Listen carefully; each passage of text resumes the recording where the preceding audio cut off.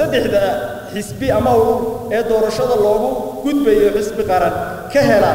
aqlabiyadda codka haldheerida wadarta dhammaan codadka gobollada dalka. Waa cod haldeeriya. Haddii laba xisbi urur ama in ka badan ay si walba iskugu leekaadaan tiro ahaan oo ay ku kala bixi waayaan hannaanka ku cad farqadda koowaad waxa gacantaa waxaa go'aan ka gaadhaya komishanka inta isbeddelka ay guddidu ku soo samaysay golaha ka koobnaa inta ogolay gacmaa taag xanada golaha guurtida somalilan ayaa cod aqlabiyada ku ansixiyey xeerka isasaarka doorashooyinka oo wax ka bedel iyo kaabis ay ku sameeyeen. Ansixinta ka hor waxaa xildhibaanada qodobada muhiimka ee wax kabeddelkii kaabista lagu sameeyey ka hor akhriyey xogayaha guud ee golaha guurtida cabdinaasir aadan beegsi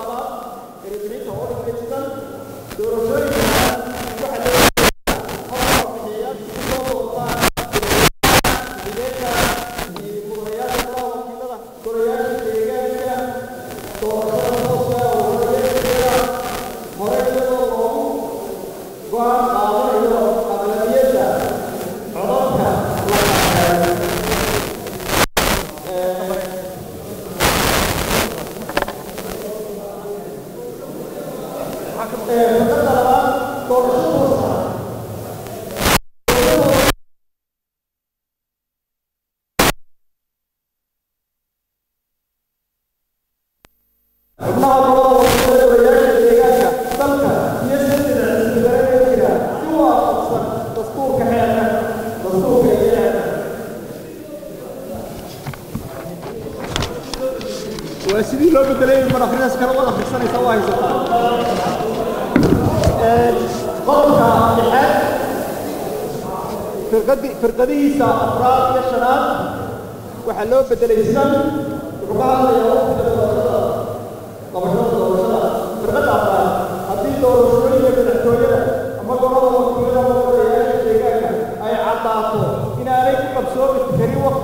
asteeyey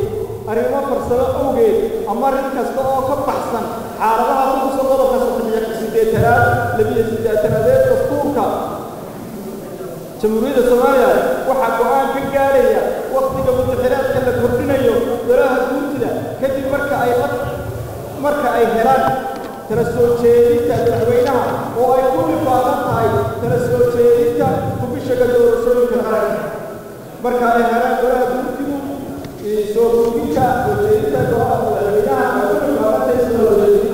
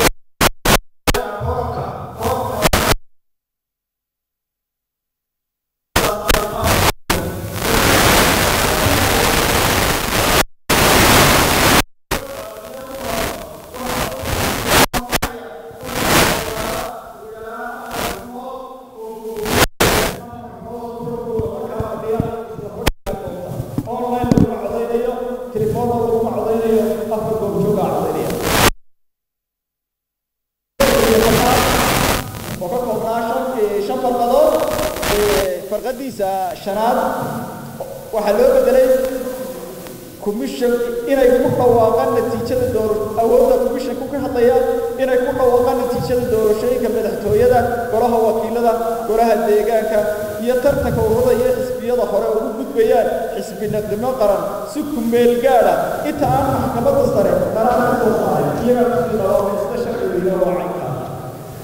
qodobka sideed iyo tobnaad qodobka sideed iyo tobnaad oo ka koobnaa saddex farqadood waxaa loo bedelay laguma soo koobay laba farqadood nuxur ahaan loogu soo uriyey qodobku wuxuu ka hadlayey qaabismeedka komishanka oo ku xusay inuu komishinku yeelanayo xogeeye guud guddidu markii ay eegtay nuxurka qodobkaasi xabaarsan yahay iyo shaqada uu u qabanayo iyo qaabka maanta uu u dhisayey komishanka xubintaasi guddidu waxay soo saartay labada firqadood ay ku habaysay waxayna u dhigtay sidan komishanku waxa uu yeelanayaa agaasimo guud oo ah madaxa shaqaalaha komishanka xeer nidaamyo ayaana komishanka soo saari karaa lagu faahfaahinayo cilgudashadiisa agaasimaha agaasimaha guud ee ku xusan farqada koowaada qodobka magacaabistiisa waxaa loo raacaya dastuurka jamhuuriyadda somalilan qodobka sagaashanaad farqada saddexaad xarafka ha oo maanta uu ku fadhiyo agaasimaha xubinta ku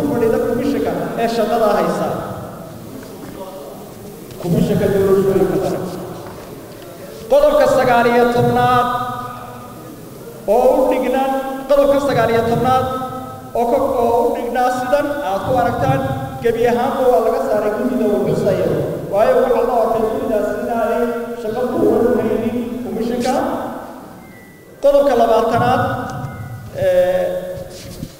oo u dhignaa saddexdaa firqadood.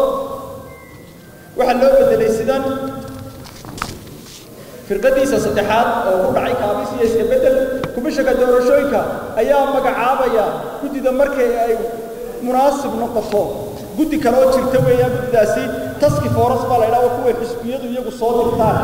Horeba u shaqayn jireen waa kuwa xisbiyada u furan sanaaduuda ee doorjooga oo naqrida. Marka waxa lagu lagu firqada ayaa lagu kabay komishanka doorashooyinka ayaa magacaabaya guddida marka munaasib u noqoto waxaanay ku faahfaahinayaan xoosaastirada guddida xilka iyo shaqadooda inta ay doorashadu socoto waayo guddi shaqaynaysa maaha waa muddada ay doorashada iyo tirada iyo hawshu jirto qodobka labiyo afartanaad farqadiisa saddexaad waxaa loo bedelay haddii marka oo ka hadlaya habka diiwaangelinta codbixiyayaasha haddii marka la sameeyo diiwaangelinta codbixinta si waafaqsan farqadda labaad ee qodobkan ay dhacdo dib u dhigista doorashada ka hor. Intaan la qaban doorashadii diiwaangelintana loo samaynayo komishanka doorashooyinka ayaa ka go'aan gaadhaya in la qabto diiwaangelin labaad iyo in kale iyagoo eegaya xaaladaha ku gadaaman tixgelinayana xuquuqaha muwaadinka ee ku cad qodobka labiyo labaatanaad ee dastuurka fiiro gaara qodobada saddex iyo lixdanaad afar iyo lixdanaad iyo toddobiyo lixdanaad iyo qodobka labiyo lixdanaad laftiisa oo ay ku jirto meelaha ururo iyo xisbiyo oo markii hore ay ka maqnayd maadaama laba doorasho la isugu keenay meesha waxaa loo dhigay urur iyo xisbi in lagu lamaaneeyo qoraal kasta. Waa qoraal kasta xeerka ku jira qodobkiisana fariid lixdanaad oo ka hadlaya qaabka bandhigista musharaxiinta firqadda afraad loo bedelay haddii musharaxa madaxweynaha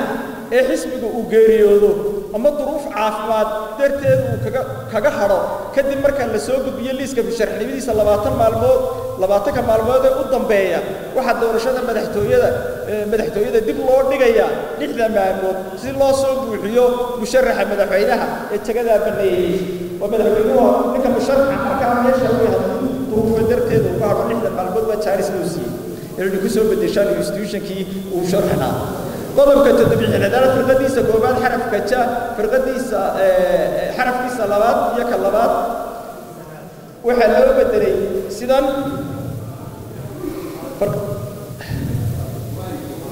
waa inuu ka mid yahay ugu yaraan saddexdii sannadood ee u dambeeyey xubnaha xisbi ee diiwaangasha. Si waafaqsan xeerka nidaamka ururada iyo asxaabta waxa reeban in musharaxa lagu xidho ogolaansho qabiil waayo waxa dhacday in marka musharaxu tartamaya la yidhaha qabiilkaagii loo keeno ma laba musharax lagu kala saaro qabiilka mujaahid soo halgamay xisbigaa muddo badan la soo shaqaynaya la yidhaha qabiilkaagii aan ku ogolaynay duco qaado taana waxaa loo eegayaa si loo ilaaliyo hanka hanaanka musharaxa iyo muwaadinka xuquuqdiisa in aan muwaadinka lagu reebin qabiilkaagii baan ku wadinaya meesha mar haddii xisbiya loo guuray dubu ay tahay in loo hoggaansamo sharciga iyo xeerarkan dalka u yaalla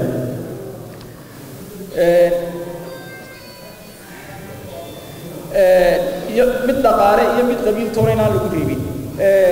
qodobka koob iyo siddeetanaad firqadiisa labiyo tobnaad iyo saddexiyo tobnaad oo dhigan sidan. Iyagana waxaa loo dhigay waxa reeban.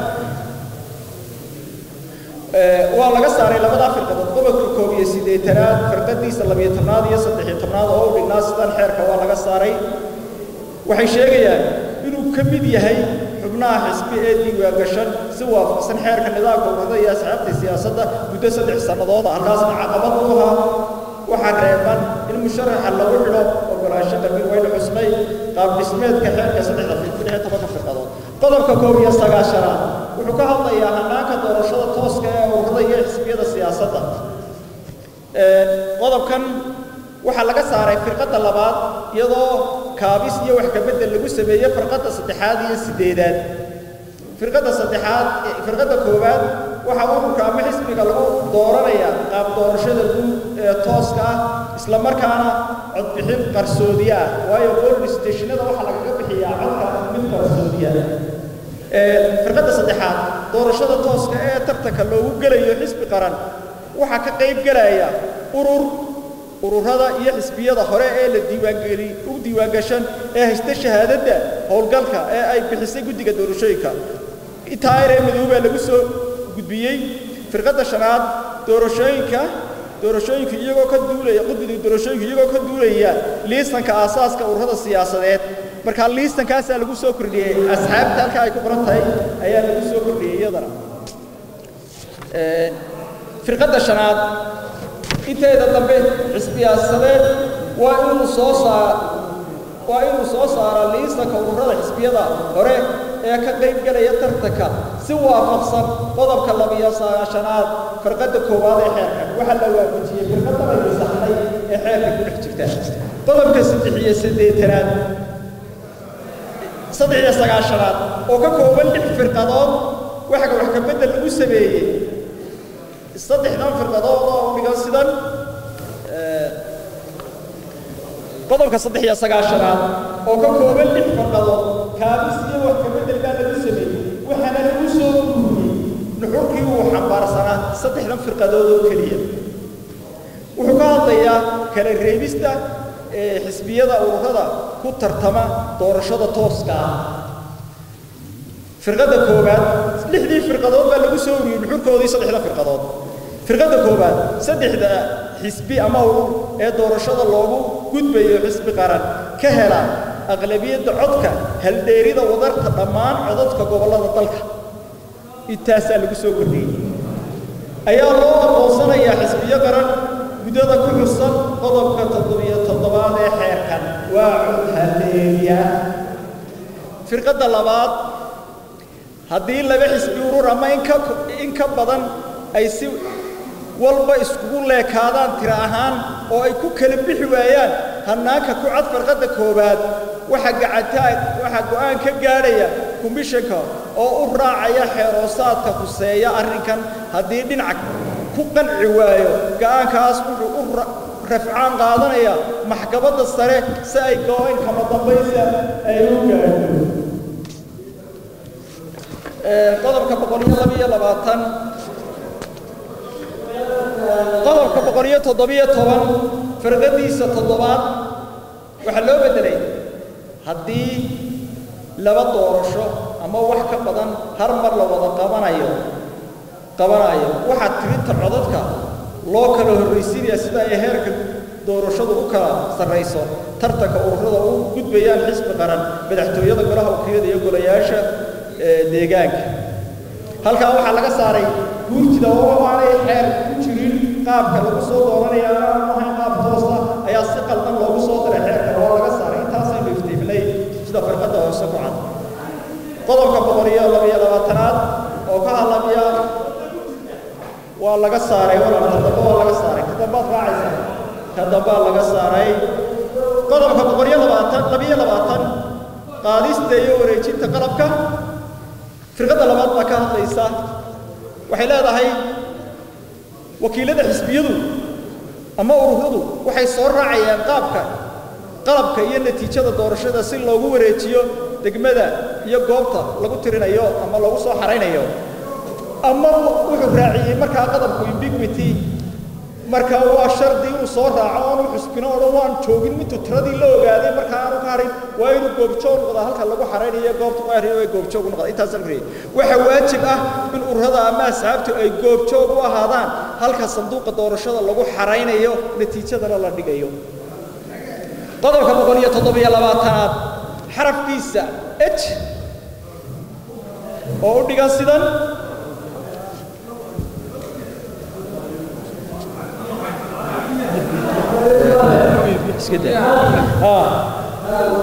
Waan dhamaynaya waan ururinaya waxba laba farqado baahaya xarafkaa waxaa loo dhigay waa inuu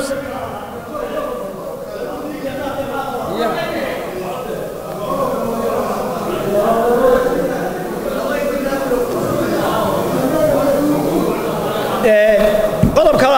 boqol iyo toddobiyo labaatan isugeynta tirada codadka doorashada madaxtooyada iyo golaha wakiilada iyo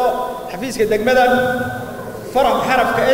waxaa loo dhigay waa inuu fagaare kaga dhawaaqo natiijada doorashada madaxtooyada golaha wakiilada degaanada laba maalmood gudahooda ka bilaabmayta maalinta codbixinta. Haddii duruufo yimaadaan awgeed muddadaas gudaheeda lagu dhawaaqi kari waayo. Komishanka doorashooyinka ayaa kordhin kara muddada dhawaaqa waxaase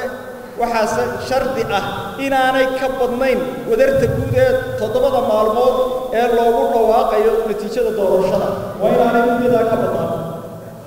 Asbaab doorashooyinka wixii heer degmo ah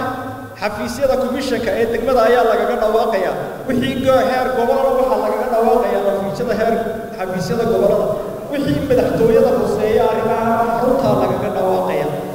Wixii meelo ay ku xusan tahay meel fagaaraha lagaga dhawaaqaya sharcigu ma dhigayo institutionku meeshii uu xaruntiisu lagaga dhawaaqaya ee meel fagaaraha wax lagaga dhawaaqaa ma jirto.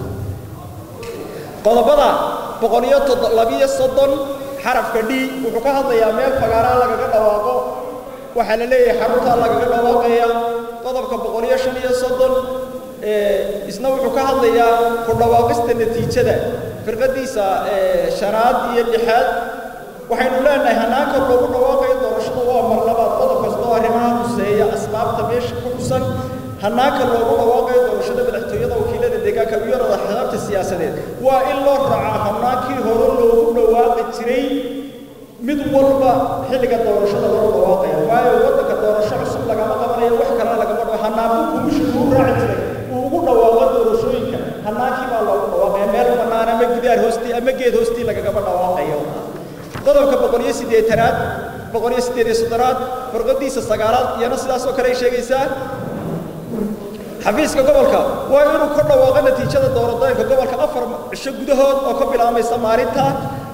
farqadda shanaad oo aynu ku soo ururayno kuma gebagabayno xeerkii waxay noqonaysaa horena aan xusnay waa in laga saaro qodobka farqadiisa shanaad qodobka farqadda afraad boqol iyo sagaal iyo soddon boqol iyo afartan boqol iyo kow iyo afartan ee isla xeerkan sababtoo ah doorashada heer qaran ah waxaa lagu dhawaaqi karaa meesha aan amaamulxumo iyo khilaaf aanu ka jirin laakiinse mar hadday xaruntu shaqaynayso waxaa loogu dhawaaqayaa sidii hore loogu raajin jiray wabilaahi tawfiiq wasalaamu calaykum akhrinta xogayaha kadib gudoomiyaha golaha guurta salmaan maxamuud aadan ayaa codgeliyey in xildhibaanadu ay codeeyaan wax ka beddelkaasi lagu sameeyey xeerka. Waxaana uu ku dhawaaqay gudoomiyuhu sida u dhacday codayntaasi iyo natiijadaba? Waxaynu ku fadhinaa koob iyo toddobaatan koob iyo toddobaatan baynu ku fadhinaa. Inta inta isbeddelka ay guddidu ku soo samaysay golaha ka koobnaa inta ogolay gacmaa taag